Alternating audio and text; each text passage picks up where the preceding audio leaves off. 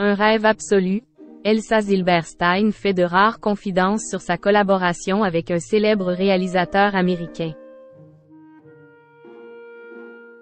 Elsa Zilberstein se réjouit de sa nouvelle collaboration avec un réalisateur américain. Comme l'a rapporté Var Matin ce mercredi 9 août, l'actrice a fait des confidences très positives à l'encontre de Woody Allen.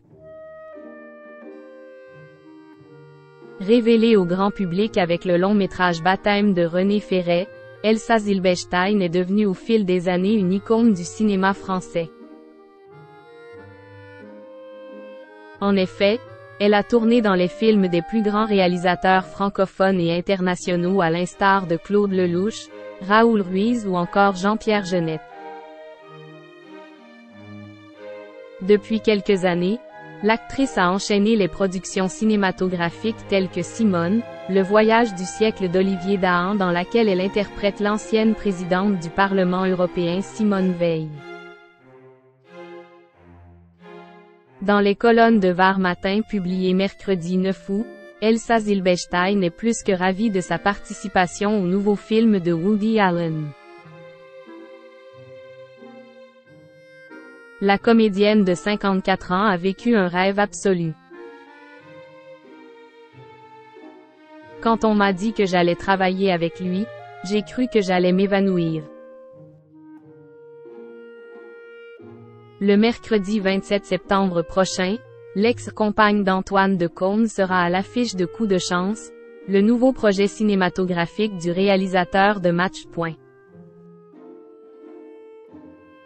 À cette occasion, Elsa Zilberstein s'est livrée sans filtre sur cette opportunité incroyable.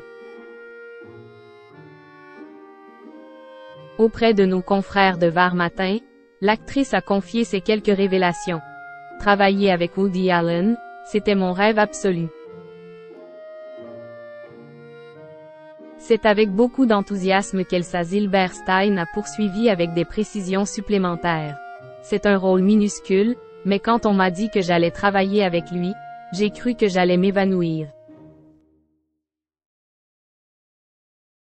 C'est tout ce qui a nourri mes goûts de cinéma, c'était même mon obsession. De le voir arriver le matin avec son bob, de lui dire « Woody est-ce que je garde ou pas ce manteau ?» Je n'aurais jamais pensé pouvoir prononcer un jour une telle phrase, a-t-elle conclu. Visiblement la star française a vu son plus beau songe se réaliser.